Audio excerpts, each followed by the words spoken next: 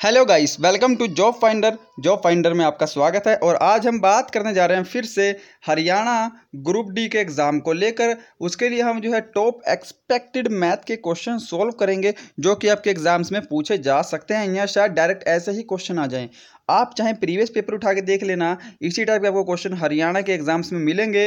ये ज़्यादा easy level का भी नहीं है और टफ भी नहीं है। मीडियम लेवल का क्वेश्चन पेपर है। देखिए, यहाँ पर सभी टाइप के क्वेश्चन मैंने अवेलेबल किए हैं। रेलगाड़ी का भी है यहाँ पर टाइम एंड वर्क का भी है रेशो का भी है, ठीक है? यहाँ पर प्रॉफिट एंड लॉस सभी टाइप के क्वेश्चन है। ये एक तरह से आपका प्रैक्टिस सेट ही है।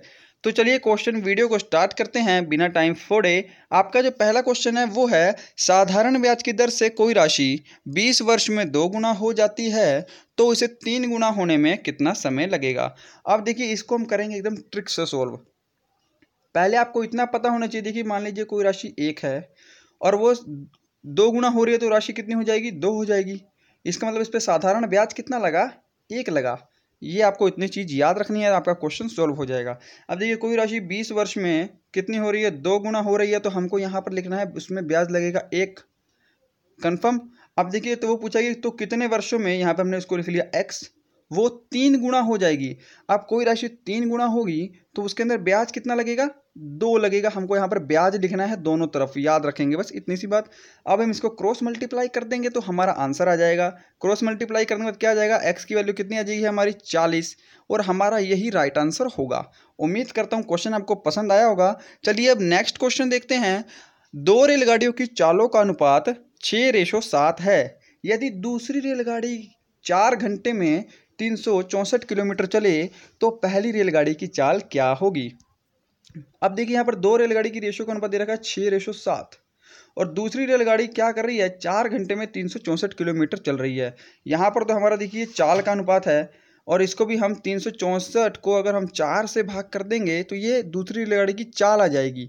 ओके तो यहाँ पर हो जाएगा चार ने में छत्तीस और चार एकम चार, यानी कि दूसरी रेलगाड़ी की जो चाल है वो है नाइन्टी वन, और हमको निकालनी है पहली रेलगाड़ी की चाल। तो देखिए दूसरी रेलगाड़ी की चाल कितनी है? Ninety one. हमने, और यहाँ पर रेशो में कितनी चाल है? वो है सात। हमने दोनों को एक दूसरे के इक्वल कर दिया। अब सात से काट देंगे, सात एकम सात, और सात से तेरह बार में इक्यानवे कट जाएगा। अब पहली रेलगाड़ी की चाल निकालनी है तो तेरह को हम छः से गुणा कर देंगे। कितना होता है? Seventy eight seventy eight is your answer उम्मीद करता हूँ क्वेश्चन समझ में आ गया होगा। गाइज़ अगर आप वीडियो पे नए हैं, यानी चैनल पे नए हैं तो मेरे चैनल को प्लीज़ सब्सक्राइब कर देना और ये हमारे मैथ का पार्ट नंबर चार है। इससे पहले मैंने तीन पार्ट अपलोड कर दिए हैं। करंट अफेयर भी अपलोड किया है। इंग्लिश के भी प्रैक्टिस सेट अपलोड किए हैं। अच्छे से समझा के उनको भी ज़रूर देखना। चलिए, ये क्वेश्चन देखते हैं कि ए कोई काम बारह दिन तथा बी उसे अठारह दिन में ख़त्म करता है। दोनों ने काम शुरू किया, पर कार्य समाप्त होने से तीन दिन पहले ए ने काम छोड़ दिया तो पूरा काम कितने दिन में ख़त्म हुआ?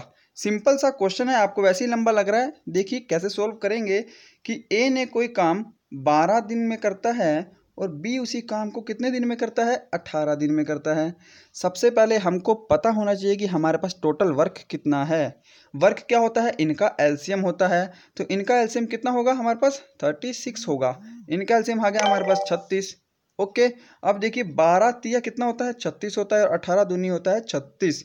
ये आ गई हमारे पास इनकी एफिशिएंसी अब देखिए क्या बोल रहा है कि दोनों ने काम शुरू किया, पर कार्य समाप्त होने से तीन दिन पहले ए ने काम छोड़ दिया। अब यहाँ से हमारे पास इसकी ट्रिक बनेगी कि अगर ए ए की एफिशिएंसी हमारे पास कितनी है? तीन है।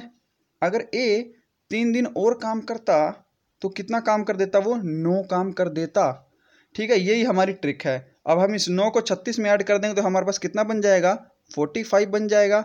अब तीन और दो कितने होते हैं? पाँच। इनकी रेशियो का टोटल हो गया पाँच। एफिशिएंसी का तो हम पाँच से डिवाइड कर देंगे। पाँच नहीं पैंतालीस और नौ आपका आंसर इस टाइप के क्वेश्चन में आपको ऐसे करना है। ये इसकी शॉर्ट ट्रिक है।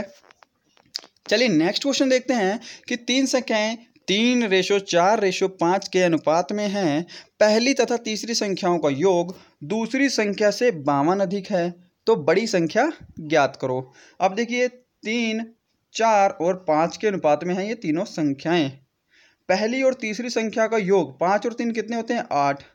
दूसरी संख्या कितनी है हमारे पास? चार। दूसरी संख्या से बावन अधिक है, यानी कि इन दोनों का डिफरेंस कितना है? बावन है। ये समझ में आ गया होगा? तो सोल्व कर देंगे हम यहाँ पर, इनका माइनस करके आ गया चार, यहाँ पर आ गया हमारा बावन। तो चार एकम चार और तेरह चौके बावन, यहाँ पर हमारा आ गया तेरह। अब पूछा है तो बड़ी संख्या क्या है? सबसे बड़ा कॉम्पोनेंट इसमें कितना है? पाँच है। तेरह को हम पाँच से गुणा कर देंगे। तेरह पंजे कितना हो गया? पैंसठ हो गया। यही हमारा क्या होगा? आंसर। चलिए नेक्स्ट क्वेश्चन देखते हैं। एक साइकिल को अट्ठाईस सौ पचास रुपये में बेचने पर चौदह परसेंट का लाभ होता है। यदि लाभ आठ परसेंट ही रखा जाए तो साइकिल का विक्रय मूल्य क्या होगा? सिंपल क्वेश्चन देखिए। अट्ठाईस सौ पचास रुपये में अगर हम कोई चीज़ बेचेंगे तो क्या बोल रहा है कि चौदह परसेंट का लाभ होता है? अब हम इस चौदह को क्या लिख सकते हैं? एक सौ चौदह लिख सकते हैं, क्योंकि सौ प्लस लाभ होता है।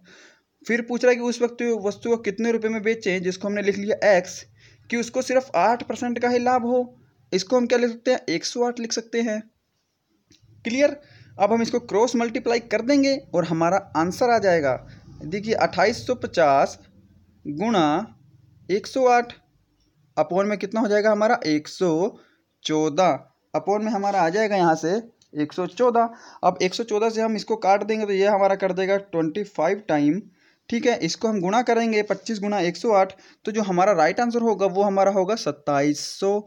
यही हमारा आंसर होगा। उम्मीद करता हूँ ये ट्रिक भी आपको पसंद आई होगी। चलिए अब नेक्स्ट क्वेश्चन देखते हैं हम कि पाँच सौ इकसठ रुपये ए बी सी में इस प्रकार बांटा गया है कि ए को बी से एक सौ बीस रुपये अधिक तथा सी से एक सौ बीस कम मिले तो बी का हिस्सा कितना होगा?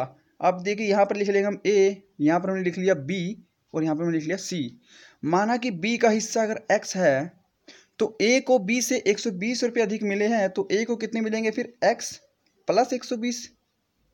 यहाँ चीज़ समझ में आ गई होगी ये चीज़? पर पर सी से एक सौ बीस कम मिले हैं। इसका मतलब सी की सी के पास कितना होगा? एक्स प्लस दो सौ चालीस होगा। तभी तो इनका डिफरेंस 120 है सी से 120 कम मिले हैं। अब देखिए, यहाँ से हमारा क्वेश्चन सोल्व हो गया, ये एक एक्स हो गया, ये दो एक्स हो गया, ये तीन एक्स हो गया। यहाँ पर हमने लिख लिया तीन एक्स प्लस 120 में हम 240 जोड़ेंगे तो कितना होगा? 360 होगा। अब यहाँ पर इनका जोड़ है और यहाँ पर इनका जोड़ कितना दे रखा है हमको? पाँच सौ इकसठ रुपये ए बी सी तो पाँच सौ इकसठ हमने यहाँ पर ऐसे लिख दिया। यहाँ पर किसी को कोई दिक्कत नहीं होगी। ओके, यहाँ पर हमने लिख लिया पाँच सौ इकसठ। अब देखिएगा, यहाँ पर तीन एक्स हमने ऐसे लिख दिया। अब ये तीन सौ साठ इधर जाके क्या हो जाएगा? माइनस हो जाएगा। तो हम इसमें से माइनस कर देंगे, पाँच सौ इकसठ में तीन सौ साठ। तो यहाँ पर क्या बच जाएगा? हमारे पास एक, ज़ीरो, दो।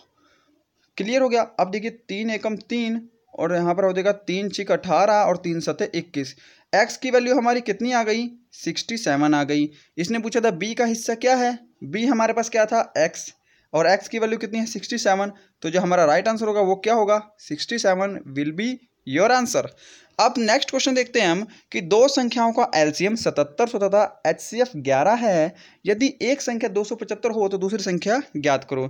ये एक्चुअली सबको आता भी होगा, पर फिर भी सॉल्व कर देते हैं। देखिए हमको क्या करना है? एलसीएम गुणा एच सी एफ़ इस टाइप के क्वेश्चन में, और पहली संख्या, या जो दो, जो संख्या गिवन है हमको वो लिखनी है।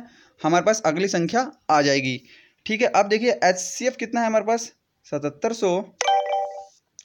और हमारे पास एल सी एम है सतहत्तर सौ और एच सी एफ़ है हमारे पास ग्यारह। एक संख्या कितनी है हमारी? दो सौ पचहत्तर है तो दूसरी संख्या बतानी है। अब ग्यारह एकम ग्यारह ग्यारह दूनी बाईस और ग्यारह पंजे पचपन। पच्चीस से हम इसको काट देंगे। पच्चीस तिया पचहत्तर और पच्चीस दूनी पचास, तीन सौ बीस। हमारा राइट आंसर होगा। पच्चीस तिया पचहत्तर और पच्चीस दूनी पचास, तीन सौ बीस हमारा राइट आंसर होगा।